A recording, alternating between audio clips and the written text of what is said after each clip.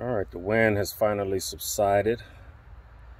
Uh, my new paint came in and we are going to start part two of this this jacket project.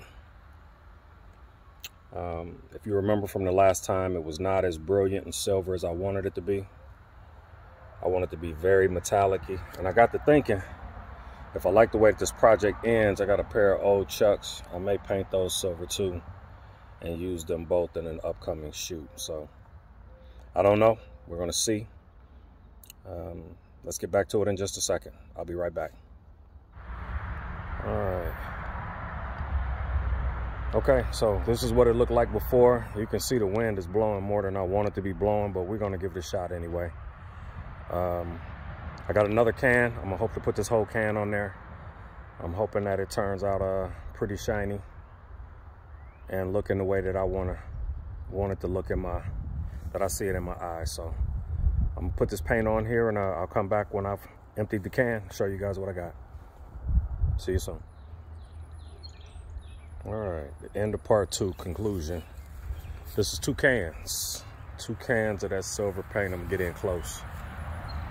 It's a little darker outside than it was in video number one, but you can see it definitely looks way more silver, but I like the way that that blue, I've allowed some of that to come through.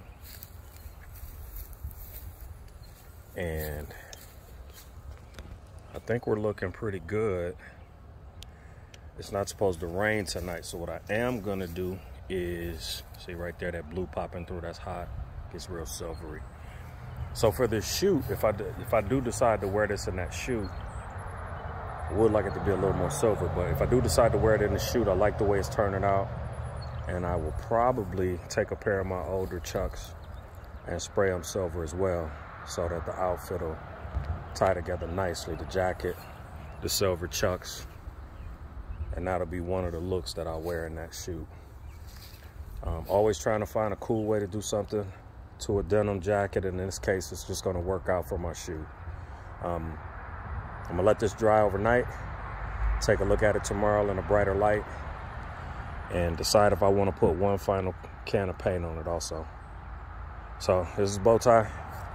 Y'all have a good night. Peace. Namaste.